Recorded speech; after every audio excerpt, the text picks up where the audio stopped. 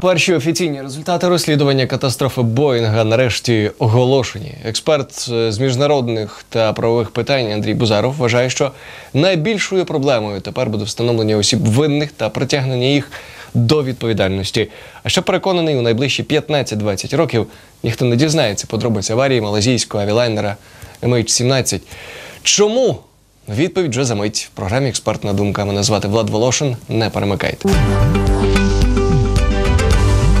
Андрій, день добрий. Добрий день. Вітаємо в нашій студії. Отже, 28 вересня відбувся звіт, в який всі чекали з розслідування аварії MH17 над Донбасом.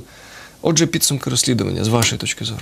Вы правильно сказали, что все ожидали, больше всего украинцы ожидали результата исследования. И, как мы видим, он явно не такой, как мы хотели бы. То есть нет четкой, четких указаний, кто конкретно за это виноват. Понятно, что Бук приехал из Российской Федерации, я думаю, об этом все прекрасно понимали. Скорее всего, к этому причастны да, граждане Российской Федерации. Это мы тоже все понимали. Но конкретных лиц никто не назвал.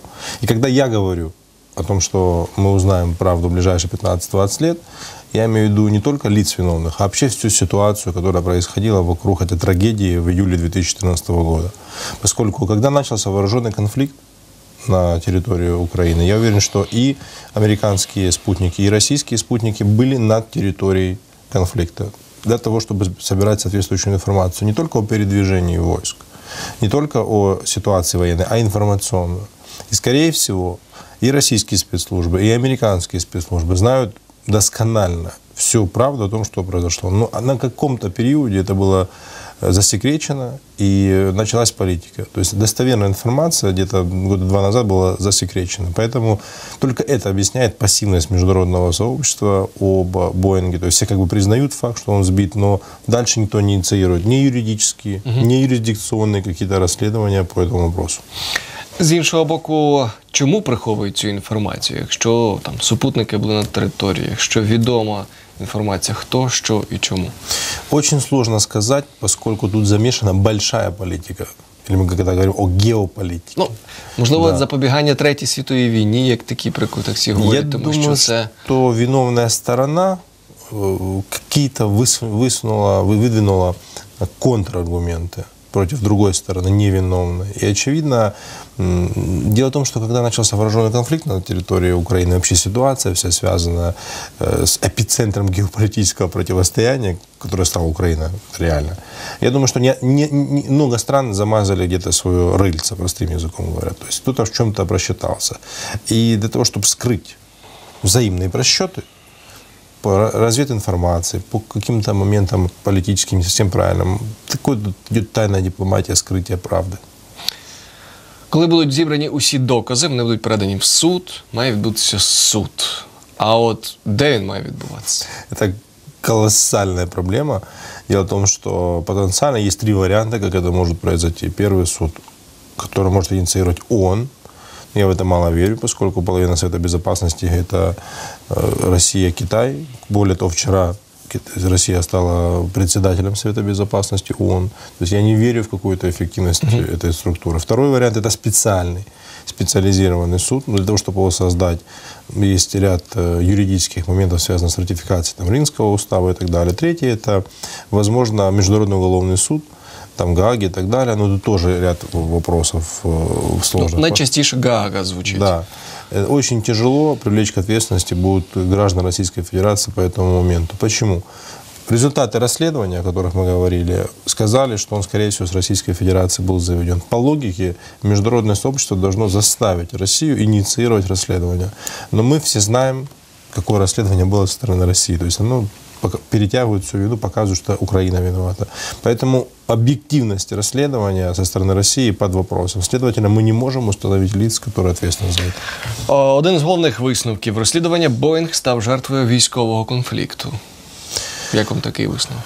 Это версия, но она ничего не объясняет. Она не успокаивает граждан Украины, она не успокаивает родственников пассажиров. То есть э, я могу сказать, что да, это прямое, прямое последствие. Я, в принципе, с этим согласен. Но кто-то стрельнул, какая-то сторона непосредственно стреляла. И самое главное, если брать юридическую сторону, то я уже как адвокат говорю, должен быть умысел или неосторожность. Это называется цель, мотив преступления. То есть, если его сбили по неосторожности, угу. то мне в это мало верится, так как э, когда ты стреляешь из рогатки в воробья или в журавля, ты видишь, кого ты стреляешь. А умысел, то какая цель была сбития этого самолета? Списать все на Украину? Ну, не получилось, да, у России. Если это сбивали украинцы, как говорят россиян, то какая цель? Это списать на Росію теж маловероятно. То есть, ну, тупікова ситуація. Українські експерти наголошені на тому, що це розслідування довело а, найголовніший факт, що Росія постачає озброєння бойовикам на Донбасі. І Є- тут вже не приховаєш цих фактів. Есть вещи общеизвестные, аксиомы. Я думаю, это так весь мир уже понял, знает, и мало кого этим. Это лишь одно из доказательств, как рассматривать, да, безусловно. Но по- по- подчеркну, это аксиома, это общеизвестный факт. Мне кажется, его доказывать не нужно о том, что там воюет большое количество граждан Российской Федерации, практически 90% техники. Вооружения приходит с территории Российской Федерации, все остальные вопросы, они общеизвестны и общепонятны. Ну и курирование, естественно, тоже осуществляется Российской Федерацией. Це експертні думки Андрія Бозарова. Ми продовжимо експертну думку за мить. Не перемикайтеся. Ефірі Чорноморської телерадіокомпанії Експертна думка. Отже, на борту було 298 пасажирів, членів екіпажу. Ми вже знаємо, всі загинули. Головний висновок експертів. Боїнг був збитий ракетою зенітно-ракетного комплексу БУК, яку запустили з території непідконтрольній Україні. Зенітний комплекс був доставлений з Росії. Після пострілу повернувся туди ж. У доповіді також зазначається, що не знімається відповідальність з України, оскільки Україна не забезпечила безпеку польотів. Але в Нідерландах давно обговорювали цю тему, і що є вина обох сторін. Е, Для нас наскільки такі висновки? К сожалению, украинская пресса и медиа мало поднимают этот вопрос. Хорошо, что вы акцент сделали на этом. Много очень можно разговаривать о том, кто виновен. Но юристов интересует и родственников конкретно, кому предъявлять претензию. На сегодняшний день нет препятствий никаких родственникам пассажиров обратиться в национальные местные суды. Не в международные, а местные суды Украины или России с претензией к конкретному государству о возмещении ущерба. К сожалению, на сегодняшний день больше юридических как раз фактов, которые указывают на косвенную вину Украины. Почему? На тот момент во-первых, э, на 17 июля 2014 года эта территория не была признана как оккупированная, то есть это фактически была территория ну, по всем правилам Украины, и сейчас остается, но не было постановления Верховной Рады об оккупации.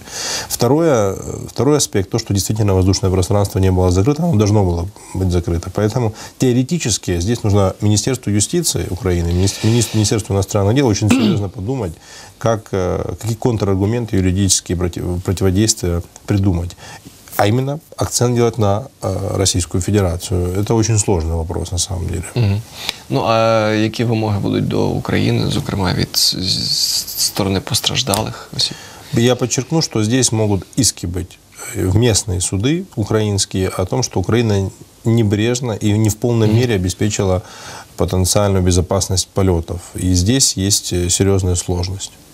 100 осіб винних згідно слідства.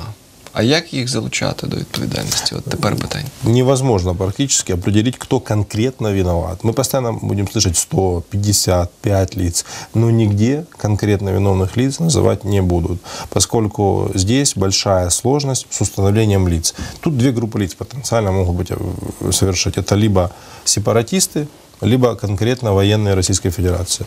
С бука стрелять ни вы, ни я, ни даже сепаратисты не могут, и этому нужно научить. То есть должны быть высококвалифицированные специалисты, которые реально стреляли. То есть, скорее всего, это э, военнослужащие Российской Федерации. Кто, к какому роду войск они были от- отнесены, кто дал приказ, кто не обеспечил. Это уже вопрос внутреннего расследования России, которое, естественно, не пойдет ни на какое сотрудничество по этому аспекту. Чисто з юридичної точки зору, зараз як розвиватимуться події? Фактично, звіт оголошено. Далі що відбуватиметься? Дальше будет э, юридические попытки со стороны Украины и некоторых союзников Украины попытаться каким-то образом поднять на иной уровень эту проблему, возможно, создать какой-то специализированный суд. А второе реально будет забалтывание темы. То есть э, 15, может 5-10 лет точно э, будут об этом не говорить публично и всячески перекладывать вину друг на друга. А реально конструктива, эффективности, самое главное, расследования, я думаю, в ближайшие годы мы не увидим. Такий довгий проміжок часу, 10-15 років, всі будуть просто говорити про це і так і воно буде плисти. Я почему привожу этот срок? Потому что я отталкиваюсь от подобных случаев в мировой практике. В 1987 году был сбит самолет над Локерби, и обвинили об этом Каддафи тогда, но он не признал. И только спустя аж 20 с лишним лет он признал, выплатил компенсацию. Хотя весь мир, вся информационная составляющая была в поддержку, все знали, кто это сделал. Но он не признавал. Когда признал, тогда начались компенсации. То есть я руководствуюсь исключительно подобными случаями мировой практики. Ми продовжимо нашу програму за мить. Не примикайтесь, друзі. Експерт з міжнародних та правових питань Андрій Бузаров є гостем нашої програми. Третя частина експертної думки. Отже, на висновки комісії в Росії відреагували в той же день Алмаз Антей, всім відома організація, виробник систем. Тричі проводив експеримент симуляції вибуху літака, тричі прийшов до висновку, що ракета була випущена з території селища Зарощенське, Шахтарський район Донецької області. На той час Зарощенське на той момент Алмаз Антей заявляє, контролювала Україна. От ми ж знаємо, що це Первомайське. Так, е, Далеко від Тереза угу. знаходиться село. селище Первомайське, Да. воно тоді було під контролем бойовиків. Вот в этом вся сложность. Но дело в том, что международное сообщество и международное исследование сказало именно село Первомайское. То есть тут долго можно совещать, не будем мы об этом дискуссировать. Главное то, что ракета была выпущена из-под из-под э, территории, скорее всего, подконтрольной э, ДНР, ДНР, это, во-первых. Во-вторых, на вооружении Украины Буха не было, это нужно понимать.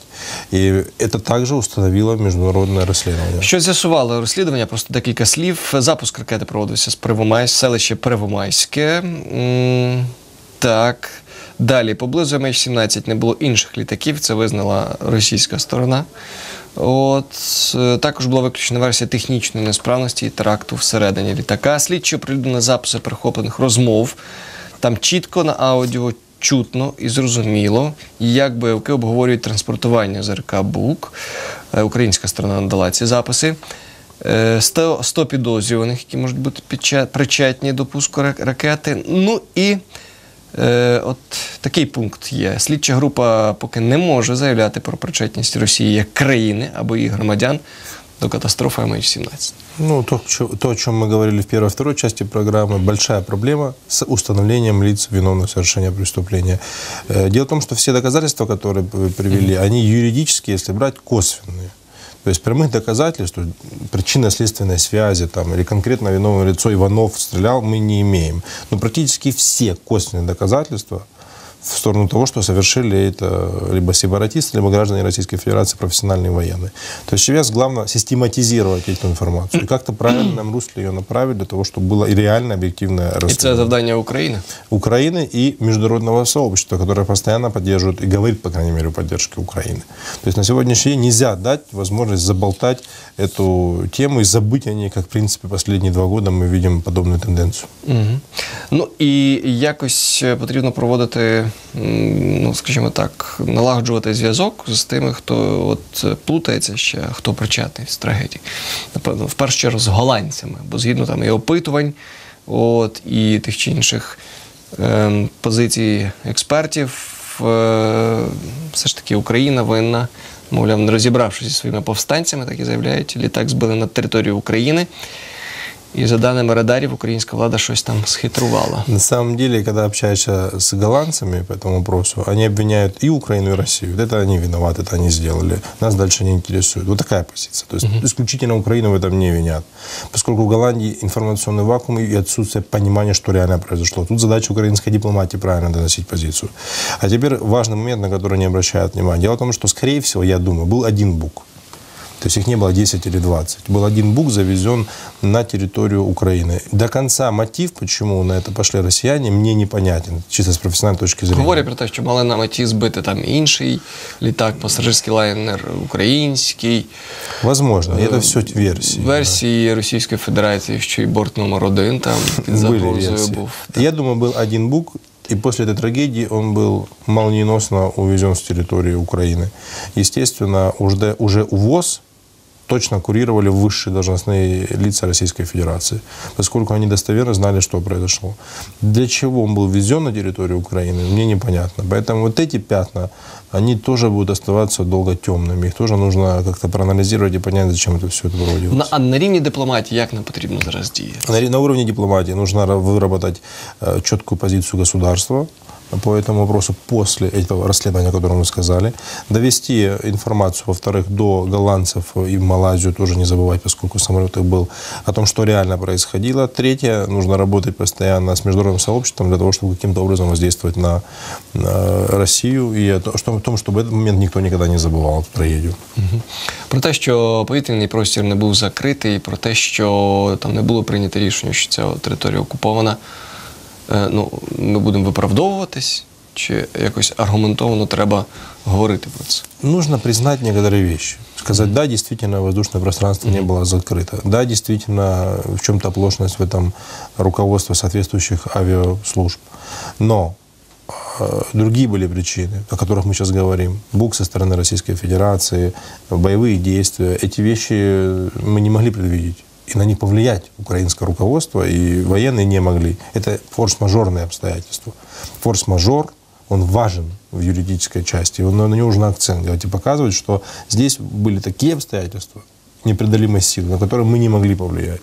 И вот они есть. И потихоньку-потихоньку правда в- выплывает. И мы хоть что-то пытаемся понять и узнать. Я вам дякую за розмову. Спасибо дякую за вам. участь в нашій програмі. Це були експертні думки Андрія Бузарова. Друзі, побачимось обов'язково в ефірі Чорноморської телерадіокомпанії.